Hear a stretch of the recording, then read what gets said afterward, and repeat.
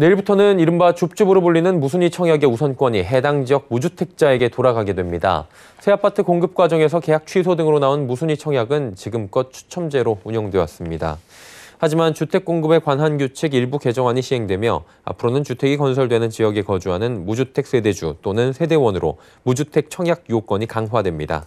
뿐만 아니라 규제 지역에서 공급되는 무순위 물량은 일반 청약과 같은 재당첨 규제를 받아 투기 과열 지구 10년, 조정 대상 지역 7년 제한이 적용되게 됩니다.